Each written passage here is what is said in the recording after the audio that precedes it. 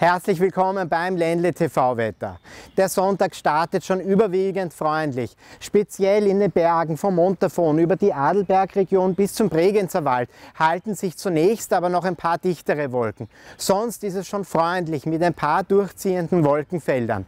Die Temperaturen sind aber in der Früh noch zunächst frisch, rund 9 Grad im Rheintal, stellenweise auch nur um die 8 Grad.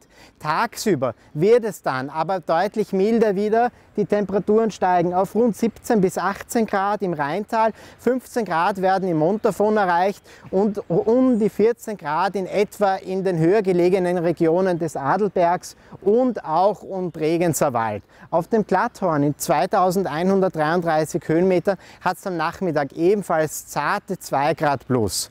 Im Laufe des Nachmittags wird es zudem noch vom Westen her zunehmend sonnig. Die Wolken lösen sich über dem Rheintal weitgehend auf und somit erwartet uns dann ein strahlend sonniger später Nachmittag und auch früher Abend.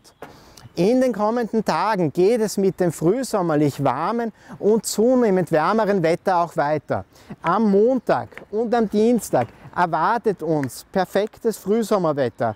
Ein paar harmlose Quellwolken bilden sich am Nachmittag, aber es bleibt an beiden Tagen überwiegend sonnig bei Temperaturen zwischen 23 und 24 Grad bei den Höchstwerten.